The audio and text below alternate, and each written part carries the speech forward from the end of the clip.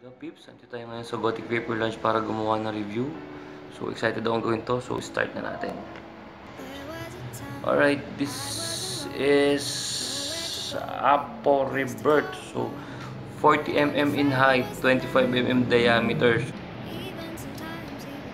So, meron siyang engraved sa isang side. Ayan yung logo niya.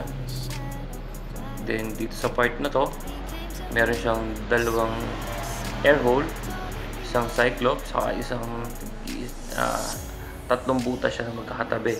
So lahat yan is adjustable if ever gusto nating luwag ng sikipan. Same din sa bilang side.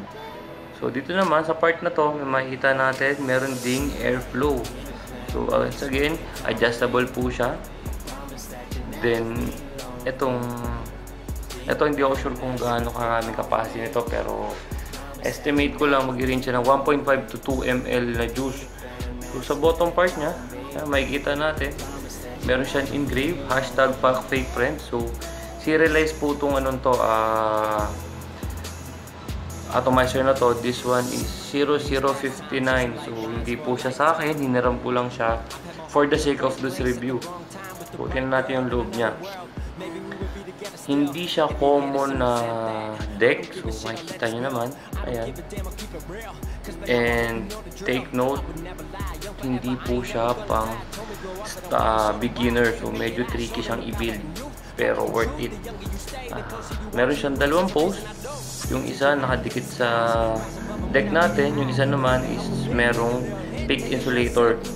So, kada isang post, merong isang malaking hole siguro, I think mga 3mm or 2.5mm yung uh, butas niya. So, kasya kahit lapton or makakapal na wire. So, kasya dun sa butas niya. Then, yung screw naman niya, pwedeng allen wrench ang gagamitin natin. Pwede rin namang flat screw. So, 2 in 1 siya.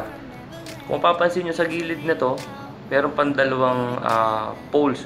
So, kung magtatanong kayo para sa inyan, isa, itong pole na to is para lagyan ng juice. So, kung napapansin nyo, may butas yan, saka ito. So, dyan po natin tatapat yung nozzle ng uh, juice natin para lagyan ng juice. Okay, siya rin yung magsisilbing airflow natin na dadaan sa ilalim ng coils natin. So, kaya mas ma-flavor siya kasi magagaling sa ilalim ng coil.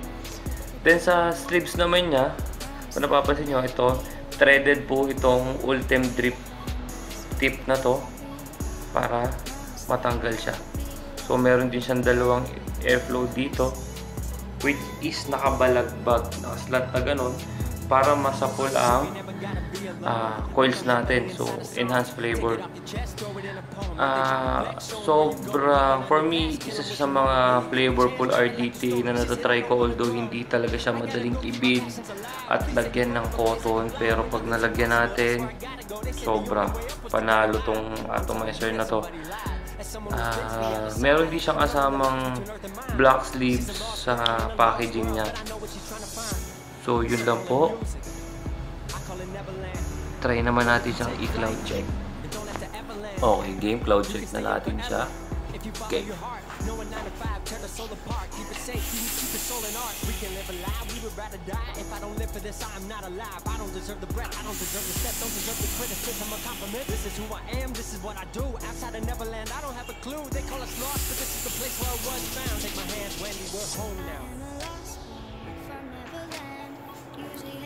Okay guys, so experience on this atomizer flavor wise solid uh, clouds.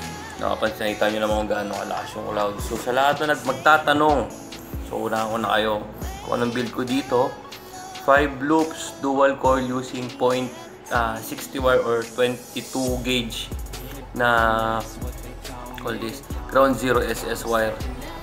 So Sunod kong video yung gagawin kung paano siya i-build para guide sa mga starter. So once again, shout out sa Ghetto Inc. para dito sa maganda na ng mga creations nyo. Kung tatanungin nyo kung bibili ako nito, definitely yes. So nag-aantay lang po ako ng second batch. So once again, this is Gabby from Gothic Vapor Lounge and I'm out. Peace!